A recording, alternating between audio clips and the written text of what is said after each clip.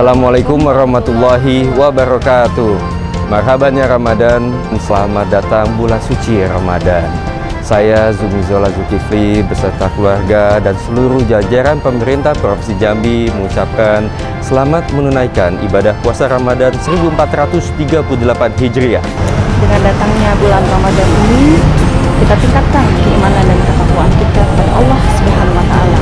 Insya Allah Amin ya rabbal alamin.